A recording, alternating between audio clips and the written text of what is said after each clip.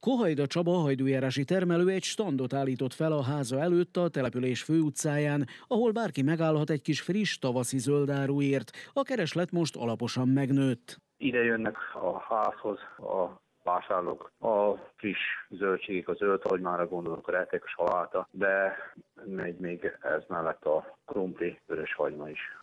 Jönnek a környékbeliek és a városból is. A zöld hagyma 30-40 dinára, a retek is ugyanígy, attól függ milyen nagyságú. A krumpli az változó, tehát itten a 20 dinártól kezdve a 60 dinárig. A vörös hagymának annak van egy kicsit magasabb ára, az a 60-tól 90-ig. A hajdújárási Baláspiri Márta a szabadkai tejpiacon árulta eddig tejtermékeit, most házhoz szállítja őket. Meglepődtem, hogy hatalmas az érdeklődés.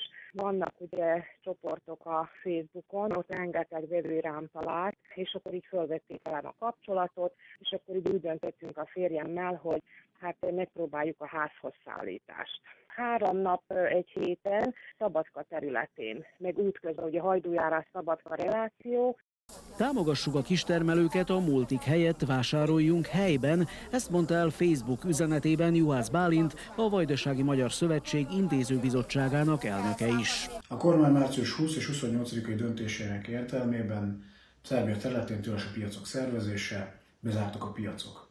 Így a helyi kistermelők nem tudnak hagyományos úton eljutni a vásárlóikhoz, nem tudják eladni a termékeiket.